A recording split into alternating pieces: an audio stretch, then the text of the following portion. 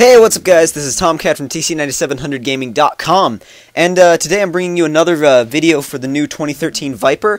Uh, this time we're actually racing it against the 2008 Viper ACR uh, on the quarter mile drag strip. Uh, some of my subscribers were uh, requesting this video, and um, so we're just going to see um, the, the biggest difference between, or one of the biggest differences between these two cars um, as far as you know new model and old model.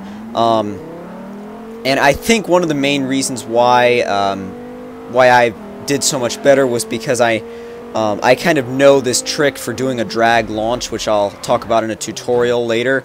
Um, but that was about 11 point I think it was about 11.9 11.8 I can't really see my screen right now. It's kind of small. But um, anyway um, so we're gonna go ahead and run the next run the next heat.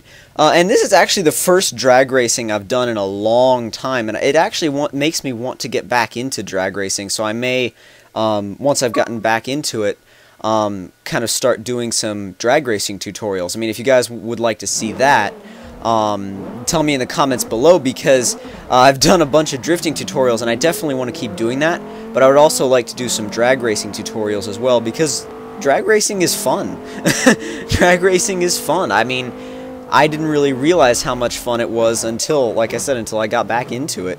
Um, and you'll notice that my uh, Viper, the Viper in the video, the 2013 Viper, um, is in snakeskin green. Uh, that is not a stock color. You need to uh, go and um, grab it from the uh, paint shop, excuse me. But um, yeah, it's it's a really great color, a really really great color, and my notifications are going off like crazy on Xbox Live right now.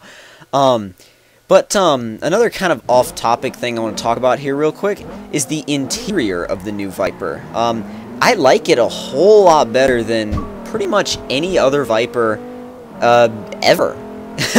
um, by the way, this was probably my worst heat. I mean, my last ones were about 11.9. This one was like 12.1, something like that. So if you guys enjoyed that video, then please leave me a like and tell me in the comments what you thought of it, and I will see you in the next video. Talk to you guys later.